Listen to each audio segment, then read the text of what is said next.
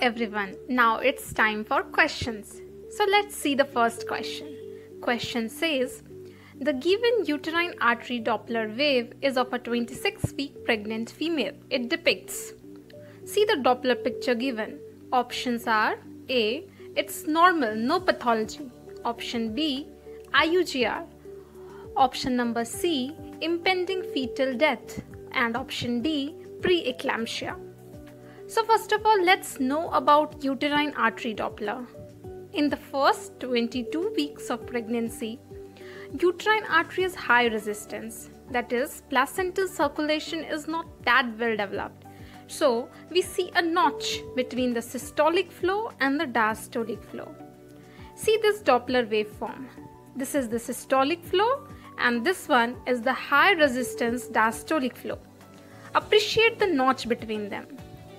After 22 weeks of gestation, placental circulation becomes good, low resistance, because of various chemical mediators released.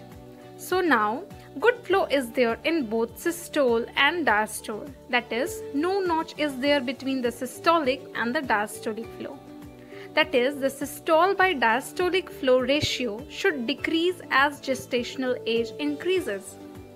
See the Doppler waveform appreciate the good systole as well as good diastolic flow. There is no notch between them. But if this notch persists even after 22 weeks of gestation, means placental circulation is not that good. It's still high resistance. That is, S by D ratio is increasing. See the given waveform.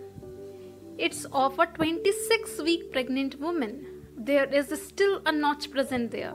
So, to ensure that the fetus gets enough blood supply despite this high resistance, the mother compensates. How? By raising her blood pressure, that is, maternal hypertension. That is, in fancy terms, it's preeclampsia. See, there are also many other chemical factors responsible behind the increased blood pressure of the mother. Now again see the question. Question says 26 weeks and showing this waveform. This is definitely not normal. So this is not the answer. Answer is preeclampsia. Let's see the other hands.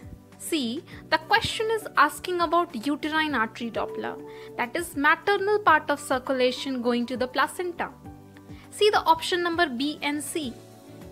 For IUGR and impending fetal death, we generally look for umbilical artery Doppler to look for the feto-placental blood flow.